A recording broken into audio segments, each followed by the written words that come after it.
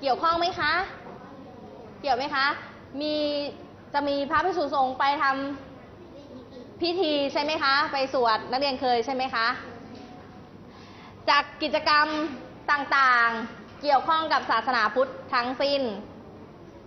ถ้าเรียนดูวิถีของวิถีชีวิตของคนไทยเกี่ยวข้องผูกพันกับศาสนาพุทธ นักเรียนคิดว่า คิดว่าไม่เกี่ยวมีไหมคะ ใครคิดว่าวิถีชีวิตของคนไทยไม่เกี่ยวข้องกับศาสนาพุทธเลยมีไหมคะ ไม่มีใช่ไหมคะ ไม่ว่าอะอย่างเช่น เราไปทำบุญใส่บาตรตอนเช้าเกี่ยวข้องไหมคะ เกี่ยว เราไปงานศพเกี่ยวข้องไหมคะ เกี่ยว มีงานอะไรอีกบ้าง งานแต่งงานใช่ไหมคะ เราอาจจะไปช่วงเย็นช่วงเย็นเขาทำอะไรกันลูก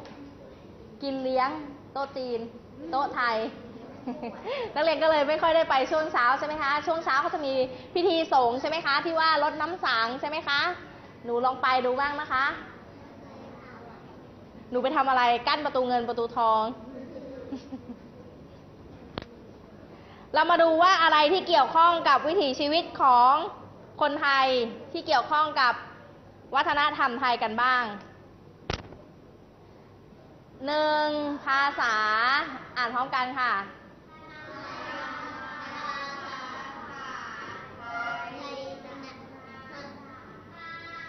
อันหนึ่งภาษา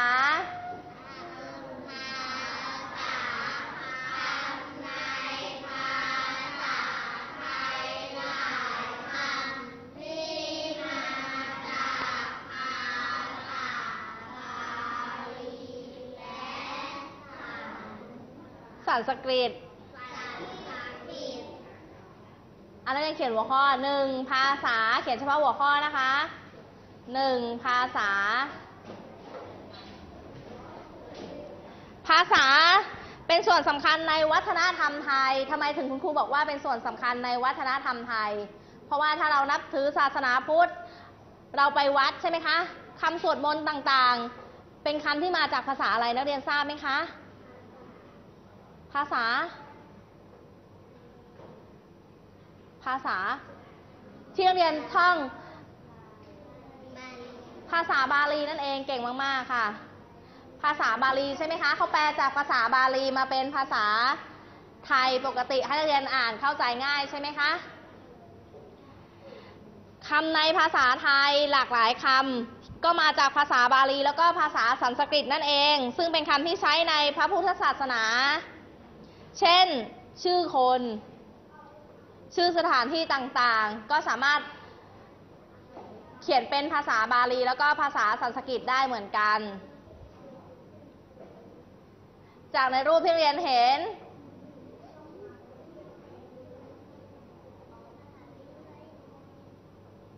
เป็นภาษาไทยใช่ไหมคะ ด้านบนด้านบนกับด้านล่างจะไม่เหมือนกันใช่ไหมคะ เป็นภาษาไทย ด้านบนแปลเป็นภาษาไทยให้เรียนอ่านได้ง่ายขึ้น ด้านล่างเป็นภาษาอะไรคะ บาลีแล้วก็สันสกฤตนั่นเอง ถ้าเรียนอ่านภาษาบาลีแล้วก็สันสกฤตทั่ว ๆ ไปนักเรียนจะอ่านออกไหมคะ ยังไม่ออกใช่ไหมคะเขาก็เลยมีการแปลเป็นภาษาไทยปกติให้นักเรียนได้อ่าน หัวข้อต่อไปค่ะที่เกี่ยวข้องคือ 2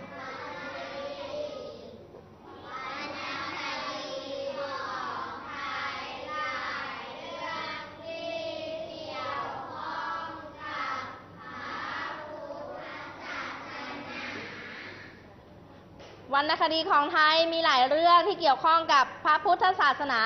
นักเรียนลองบอกคุณครูสิคะว่ามีวรรณคดีเรื่องอะไรบ้าง ที่นักเรียนคิดว่าเกี่ยวข้อง กับพระพุทธศาสนา ผู้ชายคะตอบได้ค่ะไม่ผิดนะคะ ตอบคุณครูหน่อยลูกนักเรียนคิดว่ามีเรื่องอะไรบ้าง มหาเวสสันดรชาดก ไตรภูมิพระร่วง พระมหาชนก ทั้งหมดนี่เกี่ยวข้องกับวรรณคดี ซึ่งเกี่ยวข้องกับ ไทยเราทั้งสิ้น จดลงไปนะคะ หัวข้อที่สองวรรณคดี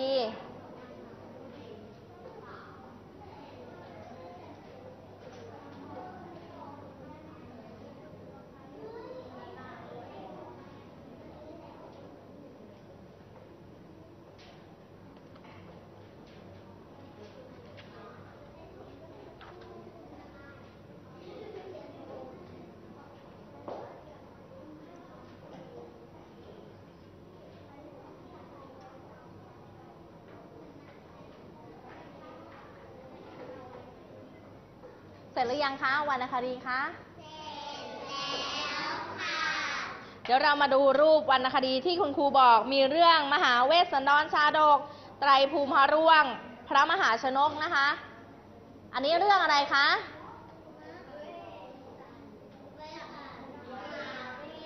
มหาเวสสันดรชาดกนั่นเอง เป็นเรื่องเกี่ยวกับอะไรคะเรื่องนี้ พระพุทธเจ้า ประวัติพระพุทธเจ้าเหรอ ประวัติใครคะ ของมหาเวสสันดรชาดกนั่นเอง เคยได้ยินไหมคะ เคยเห็นไหม ไม่เคยเหรอคะ เป็นเรื่องราวประวัติที่เราต่อๆกันมา ที่เขาจะเอามาสวดเป็นกันกันตอนสวดเทศมหาชาติเขาสวดเป็นกันกัน มีการที่หนึ่งสองสามสี่ห้าไปเรื่อยๆ เคยได้ยินนิทานเรื่องที่มันเกี่ยวกับชูชกไหมคะ ชูชกทำไมคะ ไปขอใครลูก ไปขอเด็ก ขอเด็กสองคนอะเก่งมากๆ ขอเด็กสองคนใช่ไหมคะ เคยได้ยินเรื่องพวกนี้ใช่ไหมคะ เรื่องนี้เป็นส่วนหนึ่งในในการ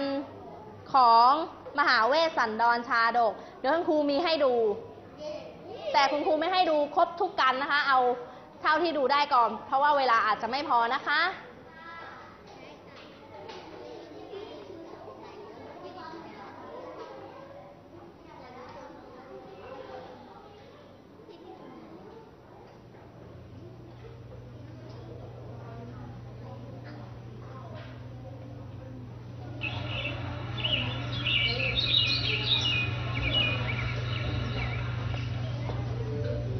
ส มัยพุทธกาลในคราวที่พระพุทธเจ้าเสด็จโปรดพระเจ้าสุโธทนะ พุทธบิดา และบรรดาพระประยุรญาติ รวมถึงพระภิกษุทั้งหลาย ขณะนั้นได้เกิดฝนโบกขอรพัดพระภิกษุทั้งหลายเห็นเป็นอัศจรรย์ จึงได้ทูลถาม พระพุทธเจ้าจึงตรัสว่าฝนชนิดนี้เคยตกมาแล้วในอดีต แล้วจึงทรงแสดงธรรมเรื่องมหาเวสสันดรชาดก ให้แก่พระภิกษุและพระประยุรญาติฟัง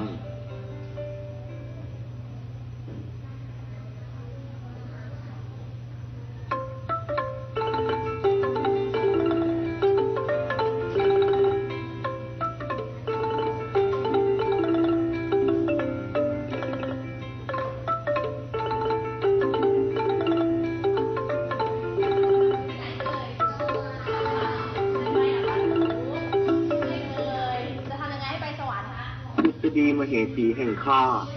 ปัดนี้ได้เวลาที่เจ้าจะต้องลงไปเกิดยังโลกมนุษย์แล้ว แต่ก่อนที่เจ้าจะไปเกิดยังโลกมนุษย์ ข้าจะให้พรเด็เจ้า กุศดีเจ้าปรารถนาสิ่งใดก็บอกข้ามาเถิด ถึงเวลาที่น้องจะต้องไปแล้วหรอพี่คะ ถ้าเช่นนั้นหม่อมฉันขอพรจากพระองค์สิบประการนะพี่คะ ว่ามาเถิดหนึ่งข อให้หม่อมฉันได้ไปเกิดเป็นพระอัครมเหสีในพระเจ้ากรุงศรีทีสองขอให้หม่อมฉันมีดวงตาสีดำคมเข้มสามขอให้คิ้วดกดำสี่ขอให้หม่อมฉันมีนางมอกผุษดีนางยมเพคะห้าขอให้หม่อมฉันมีพระโอรสทรงพระเกียรติยิ่งกว่ากษัตริย์ใด ๆ ในชมพูทวีป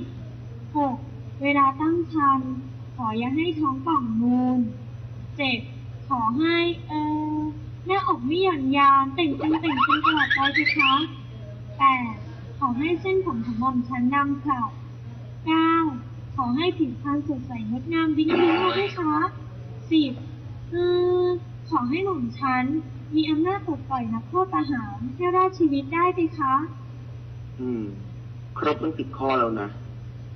พรทั้งหมดนี้ เจ้าจะได้รับในโลกมนุษย์กุศดีน้องรัก เจ้าจงสั่งสมบุญบารมี เพื่อที่จะได้กลับมาเกิดในสวรรค์แห่งนี้อีกครั้งขอบพระทัยเสด็จพี่พระอินทร์เพคะ บัดนี้ก็ได้เวลาแล้ว หม่อมฉันทูลลา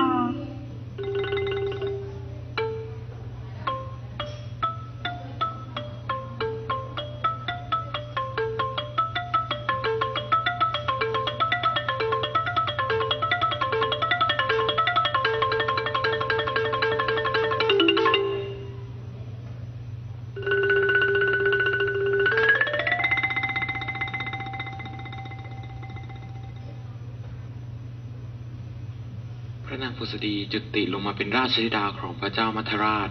เมื่อเจริญพระชนได้ 16 ชันษา จึงได้อภิเษกสมรสกับพระเจ้ากรุงสนชัยแห่งสีพีรัตนคร เวลาต่อมาเมื่อพระนางพุษรีตั้งครรภ์ครบสิบเดือน นางจึงขอให้พระเจ้าสนชัยพาไปเที่ยวชมเมือง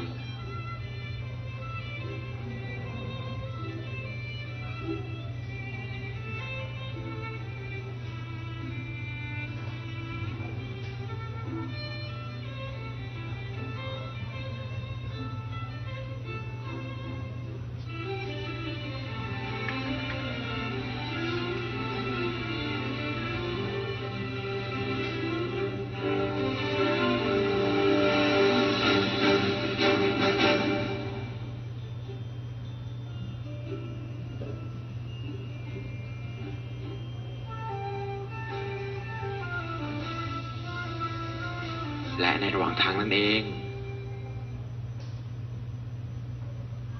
โอ้โอ้โอ้ยเสด็จพี่ไหมคะน้องเจ็บท้องเหลือเกินโอ้ยทหารโอ๊ยเร่งฝีเท้าเร็วเข้าตุ๊กตาจะคลอดแล้วโอ้ยเอ้ยไม่ใช่ทนไม่ไหวทแล้วหารหยุดขบวนเสด็จพี่ตามหมอหลวงมาแล้วโอ๊หมอยหลวงหมอหลวงหมอหลวงอยู่ไหนตุ๊กตาจะคลอดแล้วพุทธดีน้องเป็นยังไงบ้างโอ๊อดทนไว้นะ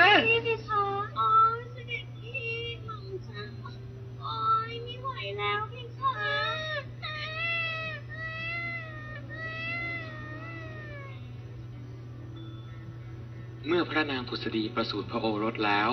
จึงถวายพระนามให้พระโอรสว่า พระเวสสันดร ซึ่งมีความหมายว่าท่ามกลางระหว่างย่านค้าขาย และในวันนั้นเองก็ได้มีแม่ช้างเผือกนำลูกช้างเข้ามาในโรงช้างหลวง มีชื่อว่าช้างปัจจยนาค ซึ่งถือเป็นช้างคู่บารมีของพระเวสสันดร